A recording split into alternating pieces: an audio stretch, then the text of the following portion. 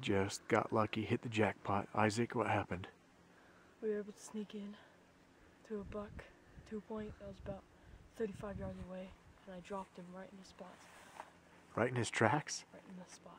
Right in the spot. Right on the spot. On the spot. Lukey, what did you think? Awesome. Aaron?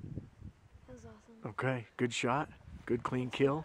Let's go find him. Okay, he's right over here. Let's walk up on him, guys.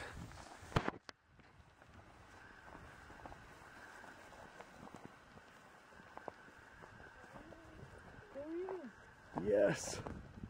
Look at him. Oh my gosh. Whoa. Lukey about ate it. yes. Yes. Isaac, great. Look at that deer. Where'd you hit him? Oh man, look at that hmm. shot. Perfect long high shoulder. Dude, hey, congratulations, killer. That is awesome. Aaron, what do you think? That was awesome. That is so superb.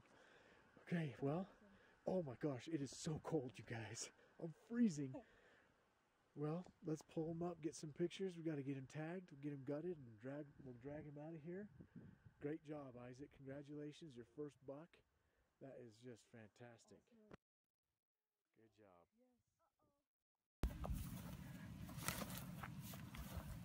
Taking him out. Good work, Isaac. Almost there.